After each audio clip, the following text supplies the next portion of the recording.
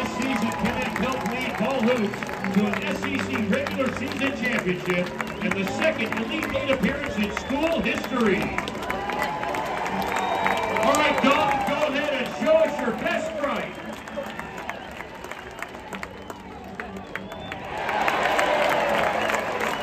Ladies and gentlemen, let's hear it one more time for VFL Dalton Knecht. Thank you for giving your all for Tennessee.